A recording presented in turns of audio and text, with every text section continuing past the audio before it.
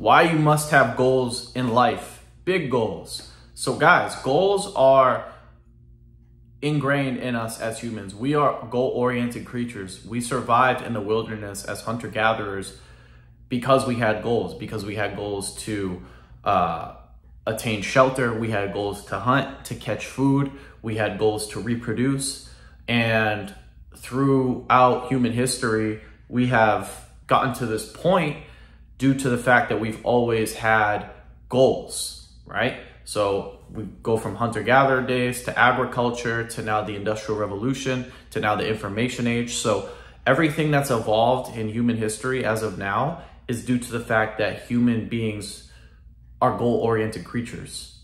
So here's the thing. The biggest reason why you must have big goals or just goals in general is because if you don't have goals, you're just going to be blown out. Like you'll just be wherever the wind takes you, right? You'll be uh, basically just wherever you find yourself. Meaning it's not, if you, for example, are driving, let's say you're driving, right?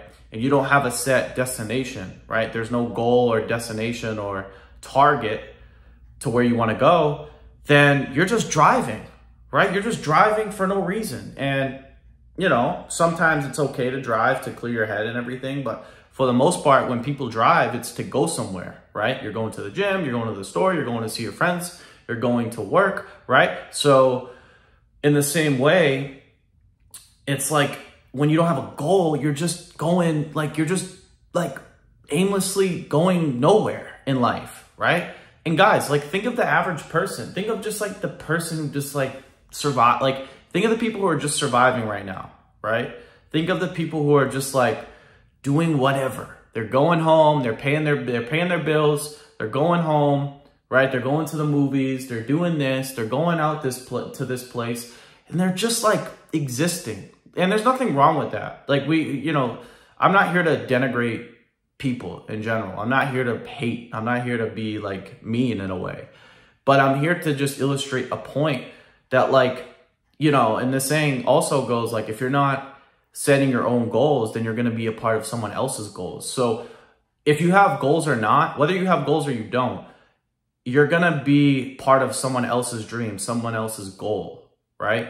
So like for example, if you don't have your own goal for your career, right? You're going to be a part of someone else's, or you don't have a, a goal to be your own business owner. Well, you're going to be part of another business's goals financially or whatever, right? So, you know, and if, and you know, another example of that is if you're just a consumer, you're just helping other people attain their goals, right? Because business owners don't care that you're a mindless consumer. They want mindless consumers, right? Because they have, when you consume as a customer, you're helping the margin, you're helping the profit margin of that company. And then everyone who works in that company, based, if they're commission based, they get a, a chunk of that, right? So people want, business owners want you to be consumers. But the difference is, is when you have your own goals, right? And I'm kind of trying to illustrate a point here. When you have your own goals, you know where you're going, right?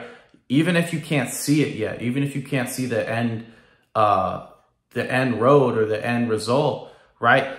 The fact that you have at least an idea of where you're going, you're going to get somewhere close. You might not hit it exactly, hit that exact goal in that same amount of time, but at least you're, you're not aimlessly wandering around through life. Like most people, like it's, it's, yeah, I hate to say it, but it's like when you guys look around, most people are just like bots, NPC bots. And I, like I hate to I hate to bring the human being down to that level and, and call people just bots, but like most people are just walking fucking zombies, right?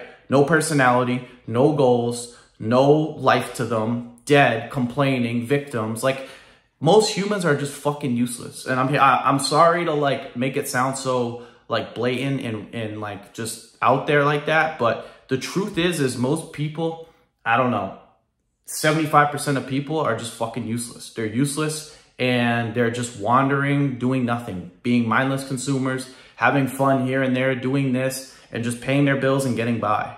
And it, it, like that will be your life if that's if that's what you don't want, you need goals because by default, those people who are living like that, who are just like doing whatever, whenever they want, whatever, like just not having any accountability, not having any goals, not, not having any discipline, those people are the, are the ones that are going to suffer as we continue to move, you know, continue to move forward, right? Inflation's only going to get worse, right? Especially if you don't know how to invest or you don't know how to create your own uh, source of income. So if it's guys, it's really important to have goals, man. I, I can't really stress it enough. It ha- you have to have financial goals, you have to have fitness goals, you have to have education, like educational goals, right?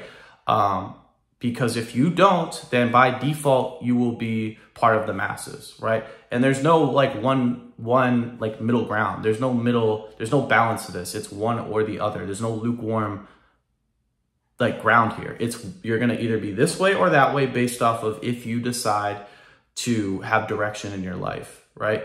And like I said, I'm not here to tell you what kind of goals to set. That's unique to your own life and, and what you want out of life.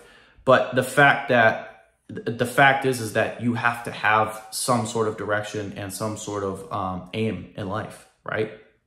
Because if not, like I said, you're just going to be wondering why you're suffering, wondering why you're broke, wondering why you're not happy, wondering why you're poor, wondering why you feel like you don't have any meaning in your life. And guys, you know, it's scary, but when you live so long, like let's say you live like 40, 50, 60 years, I can't imagine how it can be. It, it must be excruciatingly painful living for like 50 to 60 years with absolutely no goals or no sense of advancement in life. It, it must be depressing. Like I can really see myself like if I didn't have anything going on, I literally would be like, wow.